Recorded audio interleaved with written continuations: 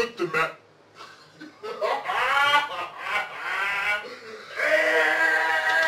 I was, gonna say Maple instead I was of gonna say the instead instead of apple. Make sure I said Maple.